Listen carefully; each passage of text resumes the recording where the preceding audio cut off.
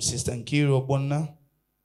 She's here to give thanks to God for preserving the life of her daughter. How many of us remember this woman and the daughter? Early this year, her daughter was diagnosed of lymphoma, that's cancer of the lymph. Here in Omaya, she met her daddy who did pray for her daughter for a successful surgery. Prior to the first surgery, the doctor informed her that out of the three, three lymph nodes found in her result, that they managed to remove only one. That she will also require another surgery for the rest of the two lymph nodes. A month later, they noticed that the left side of the neck where the surgery took place started swelling again. They took her to Enugu for the second surgery, which was also successful. Now, the mind blowing thing is that the result of the diagnosis came out on February, and the specialist informed them that it's not cancer of the lymph, that what her daughter is suffering from is Dorfman, that is disease of the lymph node, not cancer of the lymph. To the glory of God, since March, they have been going for checkup, and the doctor finally informed them last month that the remaining part, that's the remaining last lymph node that was inflamed, was dissolved totally. Praise house. I don't think you understand this testimony. Two of those lymph went out by surgery, but the last one, by the power of God, dissolved on its own without surgery. Power, who would have done this? Jesus, the center of power, and to the glory of God, she has stopped taking medications, and they are here to return all the glory to God for perfecting their healing. Let me tell you something. When you see the hand of God, even the doctors continue to change their reports. Yes, they change their reports because the Lord has stepped in. One of the word feasts we finished and we're going. I saw her crying.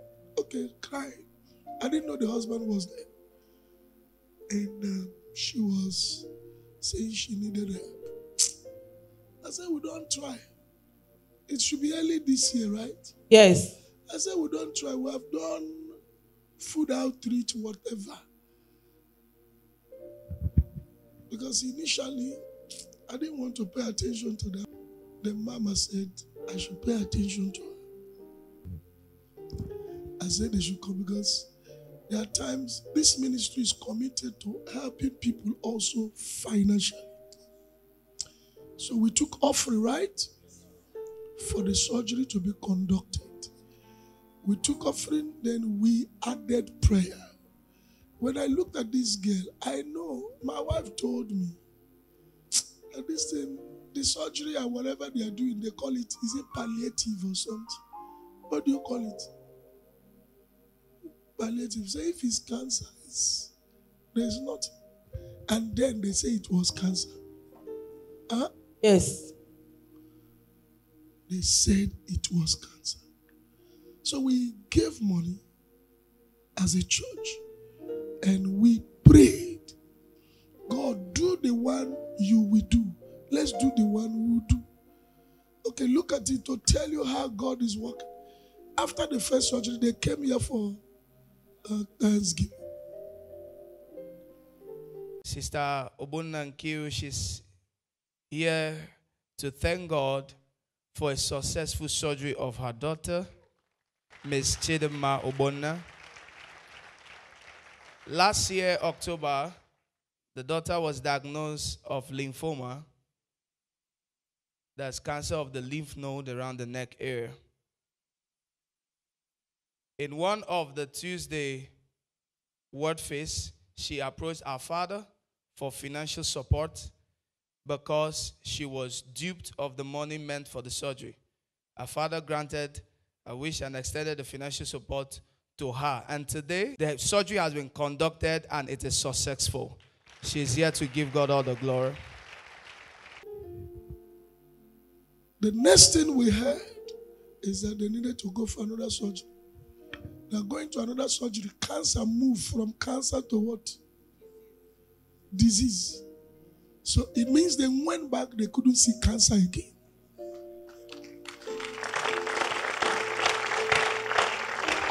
What doctors confirm to be cancer, change, they say it's not disease.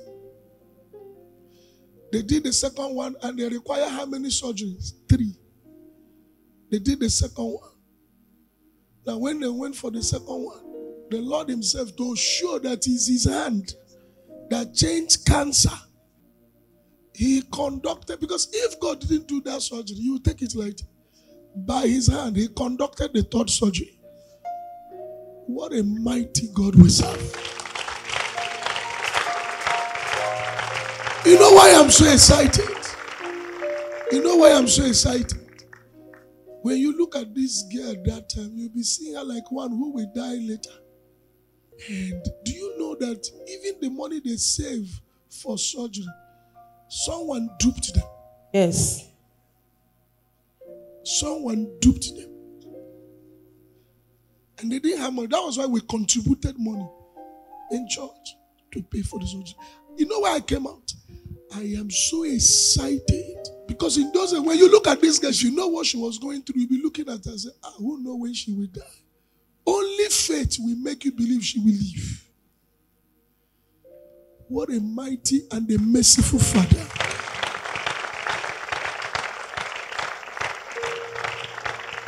Power. Let's lift our two hands. Let's lift our two hands. Father, we are not ungrateful. That you can heal cancer. You can also do surgery.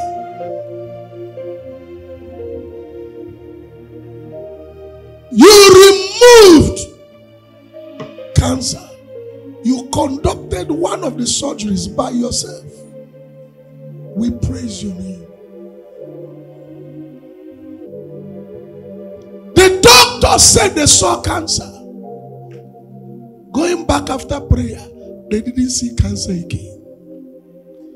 We are not ungrateful. Only you deserve the praise.